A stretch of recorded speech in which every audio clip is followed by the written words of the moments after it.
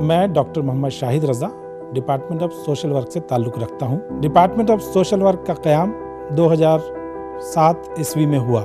क़याम के वक्त से ही डिपार्टमेंट में मास्टर ऑफ़ सोशल वर्क का प्रोग्राम चलाया जाता है। 2014 में सोशल वर्क में पीएचडी के प्रोग्राम की शुरुआत की गई। सोशल वर्क के तालिब इल्म दुनिया के तमाम तर हिस्से में मौजूदा दौर में काम कर रहे हैं। मास्टर ऑफ़ सोशल वर्क एक प्रोफेशनल कोर्स है, पेशावराना तालीम है।